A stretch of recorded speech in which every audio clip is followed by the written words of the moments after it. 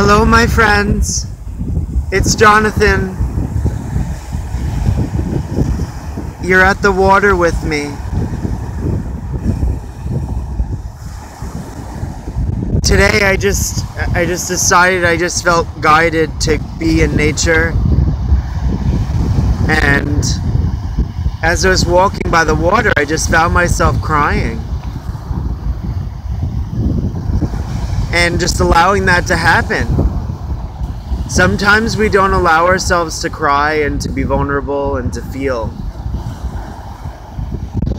And I've been listening to Laura Pleiadian's healing hologram of light, which can be found right here on YouTube. El Aura Pleiadian means loving aura.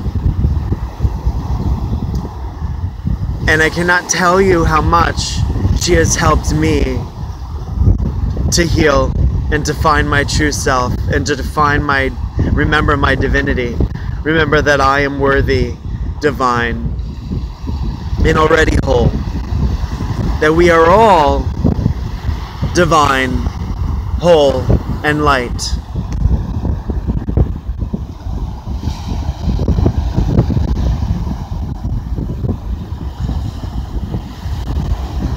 Let us not forget that nature is moments away from wherever we are.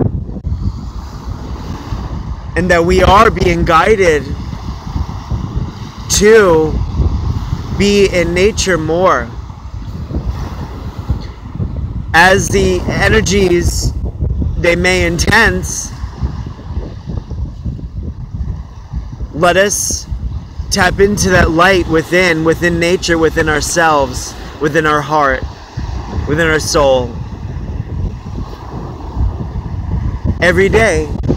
And let us remind ourselves that we don't have to do the same old routine every single day.